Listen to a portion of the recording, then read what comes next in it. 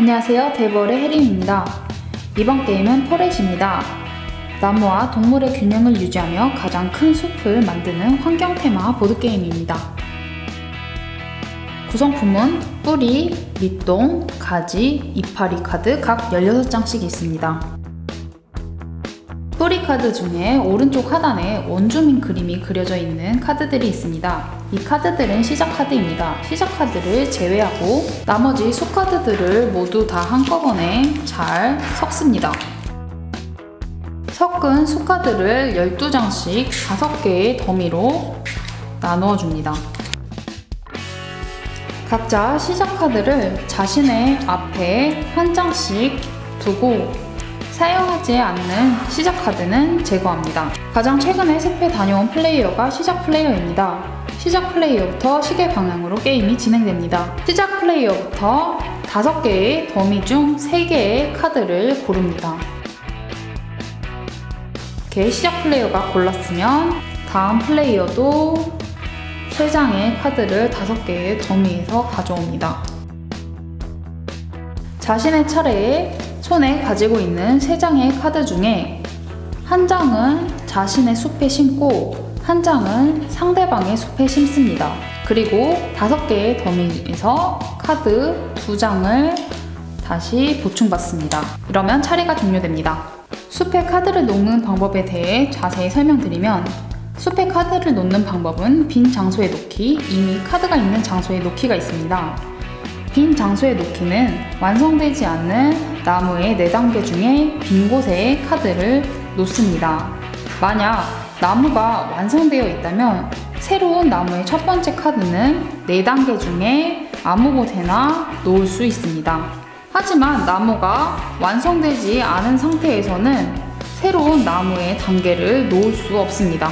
이미 카드가 있는 장소에 놓기는 나무의 완성 여부와는 상관없이 이미 카드가 놓여진 장소에 동일한 단계의 카드를 놓을 수 있습니다. 나무의 단계는 뿌리, 밑동, 가지, 잎사귀 이렇게 이 단계의 순서대로 놓아야 합니다. 수카드 더미에서 두 장씩 채우지 못하고 모든 플레이어가 한 장의 카드만 남게 되면 게임이 종료됩니다. 게임이 종료되고 점수의 합이 가장 높은 플레이어가 승리합니다. 점수 계산은 완성된 나무 한 개 당은 3점입니다. 완성되지 않은 나무당은 마이너스 1점입니다. 완성된 나무의 숫자와 어떤 한 종의 동물 숫자가 일치할 경우에는 동물 한 종당 플러스 1점인데요. 완성된 나무가 지금 보시면 세 그루입니다. 그래서 어떤 한 종의 동물의 숫자가 3마리이면 플러스 1점입니다. 이렇게 원순이 모양이 3마리가 있으므로 전체에서 3마리가 있으므로 여기 플러스 1점 이 작은 원순이도 플러스 1점. 그런데 개미의 경우에는 이렇게 4마리가 있기 때문에 완성된 나무의 숫자와 숫자가 일치하지 않기 때문에 점수를 획득할 수 없습니다. 이렇게 제규어도 1점.